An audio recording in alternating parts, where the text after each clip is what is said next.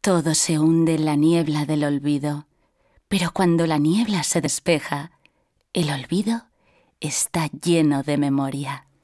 Mario Benedetti. Having lost their military purpose, the city walls in Vitoria-Gasteiz were not destroyed as in other cities. They were forgotten. A stretch of wall measuring more than a third of a kilometer was hidden among rear courtyards and deteriorated lands, patiently waiting to be found. This discovery has given rise to a unique project that aims to highlight the wall's importance and return it to the city's collective memory.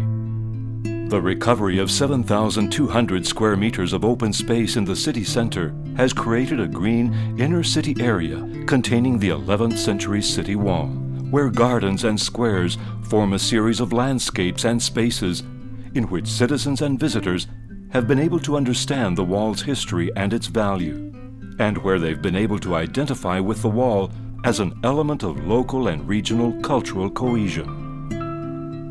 A place where you can hear music performed by well-known artists and take in the messages from anonymous citizens written on notes projected onto glass cornices green areas where you can stroll and relax, where cultural events and meetings take place, quality urban spaces that bring prestige to the neighborhood and enable dialogue between the medieval city and today's Vitoria, a city that has lived and developed side by side with the city wall. You can then observe the city from its highest viewpoint or view its hidden architecture in an evocative time tunnel discovering and finding out more about the city's history, aware that it is also a way of finding out more about oneself.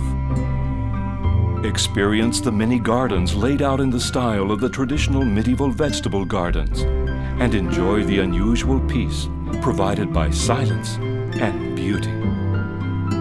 In doing this, we can ensure that where oblivion has for so long existed, memory now exists.